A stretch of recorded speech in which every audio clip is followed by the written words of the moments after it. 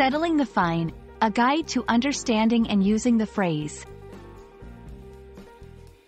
Hello everyone. Today, we're going to dive into a commonly used English phrase, settle the fine. Understanding this phrase is not only important for daily conversation, but it also gives insight into cultural and legal contexts where it's often used. Let's explore what it means, how to use it, and some examples to help you master it. Settle the fine is a phrase used to describe the action of paying a penalty, usually money, imposed for breaking a law or rule. It implies resolving a legal or formal issue by making a payment. This phrase is often associated with traffic violations, library dues, or small legal infractions. Understanding where a phrase comes from can often help in remembering and using it. Settle the fine comes from legal contexts.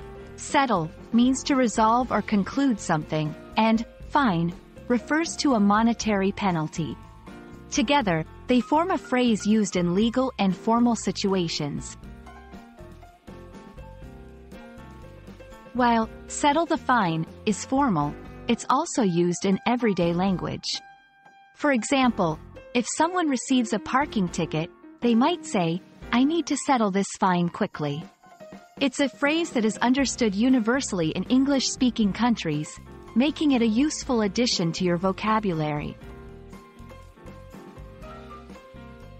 Let's look at some examples to see how it's used in context. 1.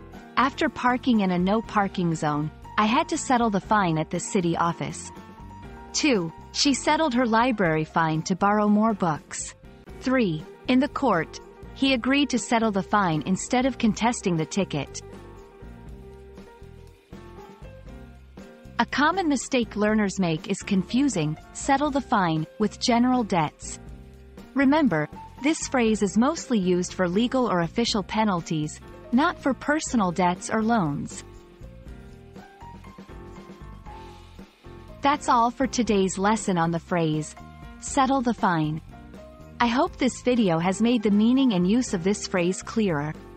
Remember, Learning phrases like these not only improves your English but also helps in understanding the culture and legal systems where English is spoken. Keep practicing, and see you in our next lesson.